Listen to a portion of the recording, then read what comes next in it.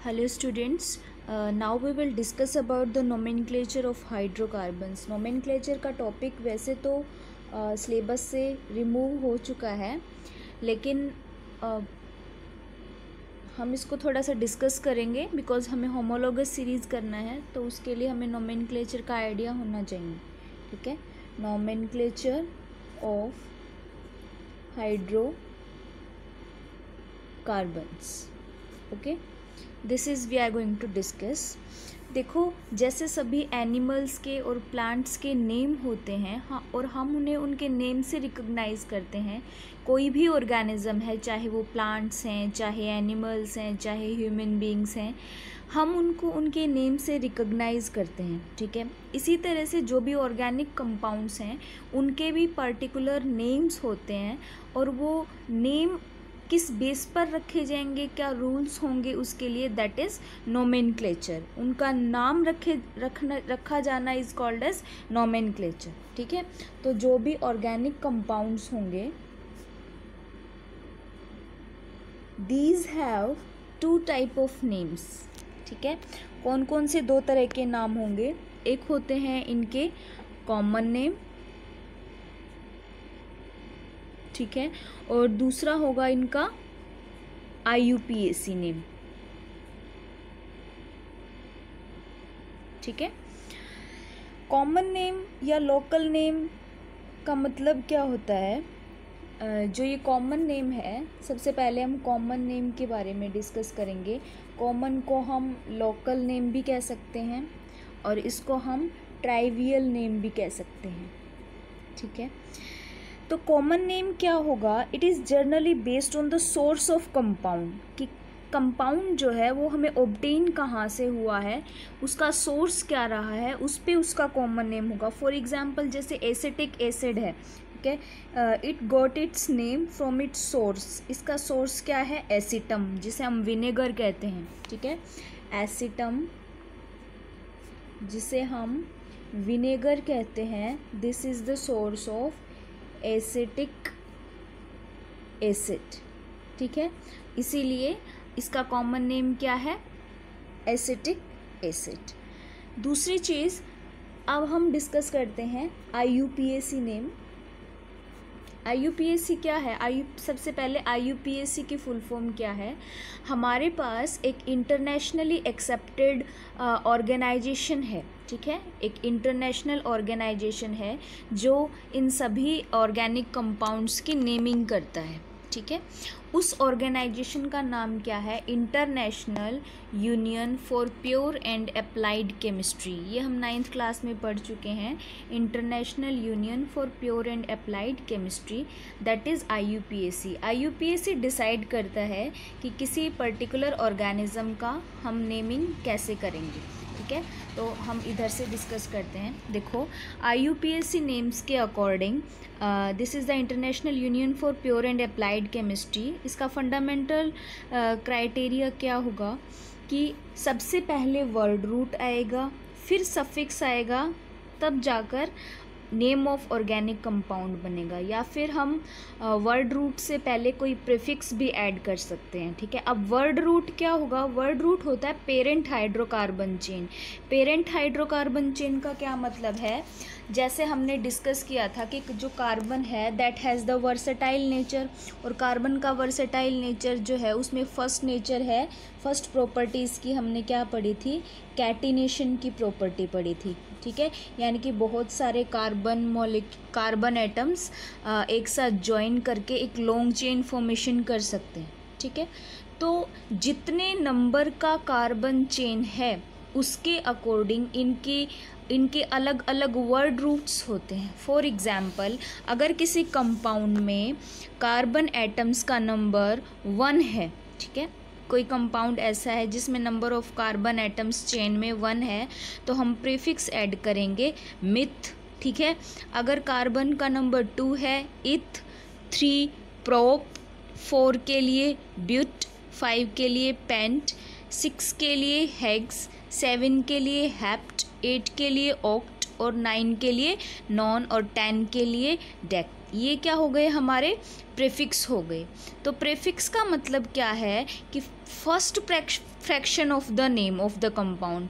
किसी भी कंपाउंड का जो नेमिंग हो रही है, उसका सबसे पहला फ्रैक्शन जो होगा that is called as prefix ठीक है? First fraction. सफिक्स का मतलब क्या है? कि last fraction of the name of the compound यानी कि किसी ऑर्गेनिक किसी ऑर्गेनिक कंपाउंड के नेम का जो आखिरी वाला हिस्सा है that is called as suffix prefix is the word that can be added before word root and suffix is the word that can be added after the word root. यानी कि जो वर्ड रूट है, उससे पहले आएगा prefix और बाद में आएगा दैट इज़ सफिक्स और ये कंप्लीट क्या होगा? किसी भी name of the organic compound किसी भी ऑर्गेनिक कंपाउंड का नेम होगा ये ठीक है? पहले आएगा प्रेफिक्स फिर वर्ड रूट फिर सफिक्स आएगा ठीक है? तो कुछ इम्पोर्टेंट सफिक्स दिए गए हैं जैसे आ, हम, मैंने डिस्कस किया था इसे प्रीवियस लेक्चर में कि जो कार्बन है, उसकी टेंडेंसी है कि it can form multiple bonds ठीक है? हमने क्या प्रॉपर्टी पढ़ी थी, इसकी वर्सेटाइल नेचर पढ़ा तब कि ये मल्टीपल बॉन्डिंग फॉर्म कर सकता है, ठीक है? मल्टीपल बॉन्डिंग फॉर्म कर सकता है। इसमें मैंने बताया था कि ये कार्बन और कार्बन के बीच सिंगल बॉन्ड प्रेजेंट हो सकता है कार्बन कार्बन के बीच डबल बॉन्ड प्रेजेंट हो सकता है और कार्बन और कार्बन के बीच ट्रिपल बॉन्ड प्रेजेंट हो सकता है। तो ऐसे कंपाउंड्स जिनमें कार्बन और कार्बन के बीच सिर्फ़ और सिर्फ़ सिंगल बॉन्ड प्रेजेंट होगा, उन्हें हम क्या कहते हैं? एल्केन्स ठीक है? और जिनमें सिंगल के साथ डबल बॉन्ड भी प्रेजेंट होता है, उन्हें हम क्या कहते हैं? एल्कीन्स ठीक है? और जहाँ कार्बन कार्बन में सिंगल बोन के साथ ट्रिपल बोन भी प्रेजेंट है, उन्हें हम कहेंगे एल्काइंस ठीक है? तो these are the multiple type of bonding that that is formed in the carbon compounds ठीक है? उसके बेस पे हम सफिक्स ऐड कर रहे हैं। देखो, जो एल्केन्स हैं ठीक है? इस तरह का कोई कंपाउंड जिसमें कार्बन कार्बन के बीच सिर्फ़ सिंगल बॉन्ड प्रेजेंट है तो उन कंपाउंड्स की जब हम नेमिंग करेंगे तो लास्ट में हम जो ऐड करेंगे that is A N E N ठीक है? जो हम, हमने ये एल्केन लिया था यहाँ पे this is alkane alkene and alkyne तो इसका लास्ट के थ्री वर्ड्स लेंगे एल्केन ये देखिए, हमने एल्केन से ए एन ई उठा लिया ई एल्कीन से ई एन ई उठा लिया और एल्काइन से वाई एन ई ठीक है? तो स्ट्रक्चर ऑफ़ एल्केन क्या होगा कि एल्केन में ए एन ई रिप्रेजेंट करता है कि जितने भी कार्बन एटम्स हैं, वो these are bonded through the single covalent bond यानी कि उनके बीच कैसा बॉन्ड प्रेजेंट है, सिर्फ़ सिंगल बॉन्ड प्रेजेंट है। इसका एग्ज़ाम्पल ले सकते हैं हम, जैसे सी एच फोर है, ठीक है? तो इसमें this is the carbon hydrogen hydrogen hydrogen and hydrogen. एक कार्बन के साथ फोर हाइड्रोजन प्रेजेंट हैं और क्योंकि वन कार्बन प्रेजेंट है तो हम क्या प्रेफिक्स ऐड करेंगे? मिथ और क्योंकि सिर्फ़ सिंगल बॉन्ड्स प्रेजेंट हैं तो हम क्या लगाएँगे? एन तो इसका नाम क्या हो गया? नेम ऑफ़ ऑर्गेनिक कंपाउंड क्या रहेगा हमारा? दैट इज़ मिथेन ठीक है? दैट्स लाइक नेक्स्ट हम देखते हैं कि सपोज़ करो हमारे पास थ्री कार्बन चेन्स का कोई कंपाउंड है तो क्योंकि कार्बन का नंबर थ्री है यहाँ पर तो हम प्रिफिक्स ऐड करेंगे प्रोप ठीक है? और लास्ट में सफिक्स ऐड करेंगे ए एन ई प्रोपेन ठीक है? इसी तरह से हमारे पास ब्यूटेन हो जाएगा। इट इज़ वेरी इजी अब हम एक और एग्ज़ाम्पल लेते हैं। इससे हम समझेंगे कि अगर ब्रांचिंग में भी, जैसे सपोज़ करो यहाँ हाइड्रोजन है ना, यहाँ पर ब्रांचिंग में भी अगर कार्बन प्रेजेंट है तो हम कार्बन्स की नंबरिंग कैसे करेंगे? ठीक है? और हम उसकी नेमिंग कैसे करेंगे? ये डिस्कस करने वाले हम। सपोज़ हमारे पास ये एक ऐसा कंपाउंड है, जिसमें कार्बन एटम्स ब्रांचिंग में भी प्रेजेंट हैं तो इस तरह के कंपाउंड्स की हम नेमिंग कैसे करेंगे? इसके लिए कुछ रूल्स दिए होते हैं। सबसे पहला रूल है कि longest and continuous chain of carbon chain which is also known as parent chain is selected from the structure पहला रूल क्या है कि सबसे लंबी चेन और कॉन्टीन्यूस कार्बन चेन हम इससे सेलेक्ट करेंगे। उसे हम क्या कहेंगे? पेरेंट चेन कहेंगे। ठीक है? तो अगर हम इस चेन को सिलेक्ट करते हैं तो one two three four five carbons ठीक है? इस चेन को सेलेक्ट करते हैं इस तरह से then one two and three carbons okay तो हम क्या करेंगे? We will select this chain as a parent chain because on selecting this as a parent chain we will get 1 2 3 4 5 6 6 carbons which are continuous so it is the longest chain okay?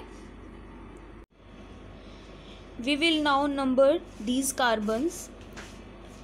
This is first second third fourth fifth and six carbon ठीक है? हमने इन सभी carbons की numbering कर ली, यानी कि हमने जिस चेन को सिलेक्ट किया है that is this one okay this one is the parent chain ठीक है? अब इस पेरेंट चेन की हम नेमिंग करेंगे। कैसे करेंगे? देखो, हमारे पास सेकंड पोजीशन है ये, जो सेकंड पोजीशन पे कार्बन है। इसके साथ कौन सा ग्रुप लगा हुआ है? मिथाइल ग्रुप लगा हुआ है, ठीक है? थर्ड कार्बन जो है, इसके साथ कौन सा ग्रुप है ये? दो कार्बन के लिए क्या होता है? इथ और क्योंकि ये ब्रांचिंग में है तो इसको इथेन नहीं इथाइल कहेंगे, ठीक है? This is the ethyl group ठीक है? इसकी नेमिंग क्या हो जाएगी? Two methyl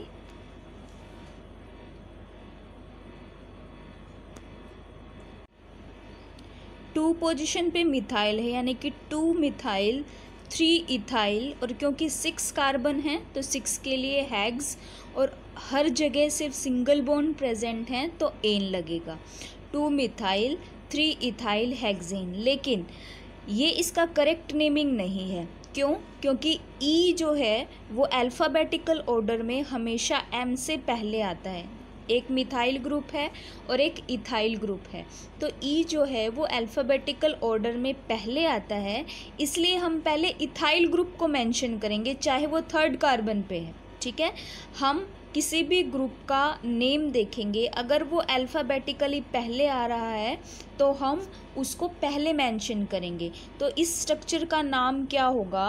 It will be three ethyl two methyl hexane कैसे आया? Three ethyl two methyl hexane that will be the uh, name of this structure compound okay? अभी तक हमने एल्केन्स के बारे में डिस्कस किया कि एल्केन्स की नेमिंग क्या करेंगे यानी कि ऐसे कार्बन कंपाउंड जहाँ पर कार्बन कार्बन के बीच सिर्फ़ सिंगल बॉन्ड प्रेजेंट है उसमें नेमिंग कैसे करेंगे। अब हम डिस्कस करने जा रहे हैं कि जो एल्कीन कंपाउंड्स हैं, उनकी हम नेमिंग कैसे करेंगे? तो सपोज़ करो फॉर एग्ज़ाम्पल हमारे पास इथेन है, ठीक है? तो हम क्या करेंगे? अगर हम, वो एल्कीन है, ठीक है? यानी कि डबल बॉन्ड आ गया उसमें तो हम एन हटाकर और उसमें ईन ऐड करेंगे तो हमारे पास सी नाम बन जाएगा दैट इज़ इथीन ठीक है? एक एग्ज़ाम्पल लेते हैं C double bond C hydrogen hydrogen hydrogen and hydrogen ये दो कार्बन कंपाउंड से बना हुआ कंपाउंड दो कार्बन एटम से बना हुआ कंपाउंड है, ठीक है? इसमें C double bond C present है, यानी कि कार्बन कार्बन के बीच डबल बोन प्रेजेंट है। The first member of this series will have two carbon atoms इस तरह के जो कंपाउंड्स होंगे, उनमें जो फ़र्स्ट मेंबर होगा, उसके पास दो कार्बन होंगे, क्योंकि कम से कम कार्बन कार्बन के बीच बॉन्ड प्रेजेंट है ना तो दो कार्बन तो एटलीस्ट होने चाहिए। ठीक है? तो अब हम इसका आई नेम करेंगे और इस तरह के कंपाउंड्स जिनमें डबल बोन प्रेजेंट होता है, उनको हम अनसेचुरेटेड हाइड्रोकार्बन्स बोलते हैं।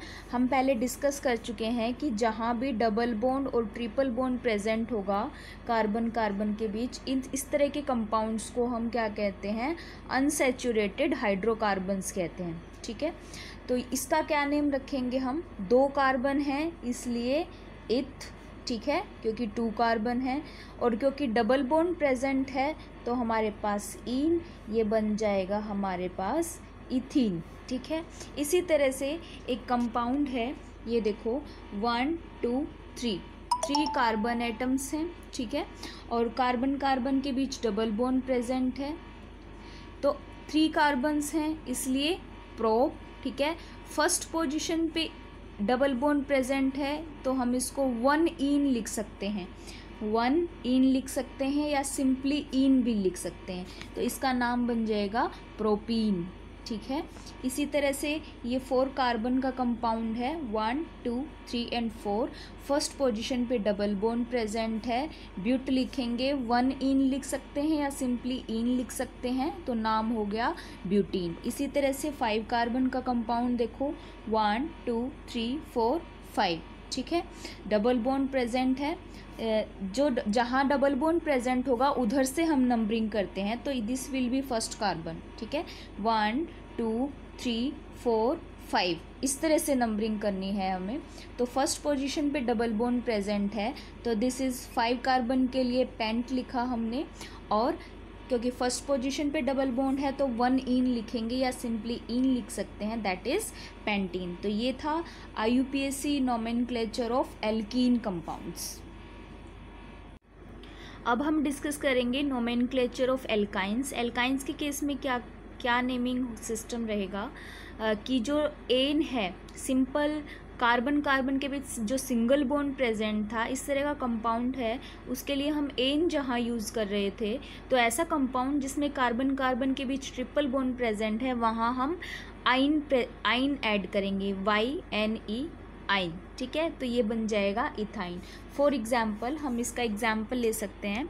ये देखो सी ट्रिपल बॉन्ड सी ठीक है? और वैलेंसी पूरी करने के लिए थ्री वैलेंसीज तो यहाँ सेटिस्फाई हो गई कार्बन की और वन हाइड्रोजन के साथ अटैच होकर। तो इसकी नेमिंग क्या रहेगी हमारे पास? टू कार्बन है, इसलिए इथ ठीक है? ट्रिपल बॉन्ड है, इसलिए आइन क्या बन गया? इथाइन ठीक है? इसी तरह से वन टू थ्री ठीक है? थ्री कार्बन एटम्स हैं। यहाँ थ्री आएगा। तो थ्री कार्बन एटम्स हैं तो उसके लिए प्रोप वर्ड हम यूज़ करेंगे ट्रिपल बोन्ड है इसलिए आइन यूज़ करेंगे naming will be propyne just like that we have one two three four carbons ठीक है? ब्यूट फॉर फोर कार्बन ठीक है? और हम देखते हैं कि अगर हम किसी भी साइड से लें तो ये सेकंड कार्बन बनता है। One two three and four this is the second carbon तो बॉन्डिंग कहाँ कहाँ है? सेकेंड और थर्ड कार्बन के बीच बॉन्डिंग प्रेजेंट है। तो जहाँ बॉन्डिंग सेकेंड और थर्ड कार्बन के बीच प्रेजेंट होती है तो हम उसको टू पोजिशन पे लेते हैं। तो ये क्या है? टू आइन है। यानी कि सेकेंड पोजिशन पे ट्रिपल बॉन्ड प्रेजेंट है। ठीक है? तो इसका नाम क्या होगा? टू ब्यूटाइन ठीक है? इसी तरह से one two three four five लेकिन ट्रिपल बॉन्ड इधर प्रेजेंट है तो हम किस कार्बन को फ़र्स्ट लिखेंगे? This carbon will be mentioned as first carbon ठीक है? One two three four and five तो फाइव कार्बन के लिए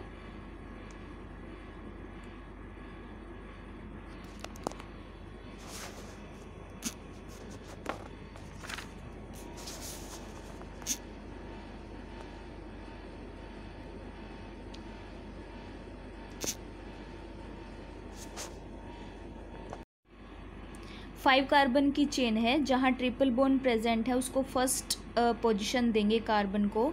तो फाइव कार्बन के लिए पेंट और फ़र्स्ट पोजीशन पे ट्रिपल बोन प्रेजेंट है तो yne this this will be pentyne. तो these is that is the nomenclature of alkanes alkenes and alkynes we have discussed अब हम अगली वीडियो में डिस्कस करेंगे कि what are the what is the homologous series okay